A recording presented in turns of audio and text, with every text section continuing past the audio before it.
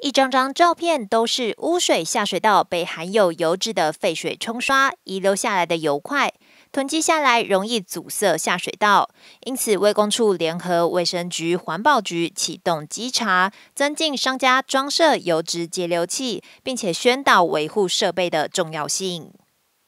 那主要是因为呢，要透过那个卫生局跟环保局的的力量哈，大家一起合作。然后促使那个餐饮业者的商家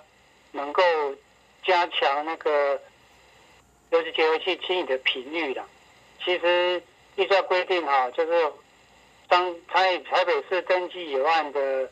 餐饮业者哈，应该都要依建筑技术规则的规定，都要装设油脂节油器的哈。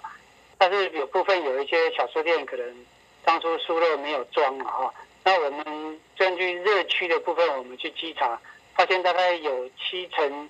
左右都有装设，好，所以我们也去宣导哈，宣导说小吃店或者是一些餐饮业还是要装设油脂接收器。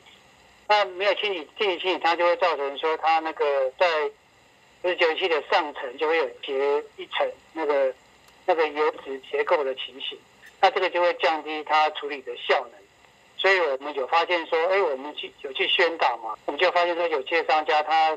就疏于。疏于那个去清理这些油脂啊，就造成这个效能降低，那其实这个效果就不好了。